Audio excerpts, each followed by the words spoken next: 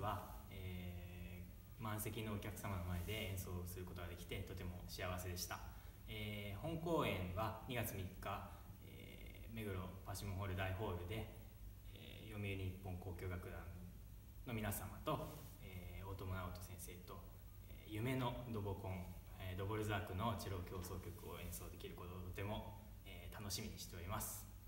えー、もう誰もがこうチェリストはみんな望んでいるこのドボコンオケとの共演を、えー、楽しみに、えー、練習に励んでいきたいと思います。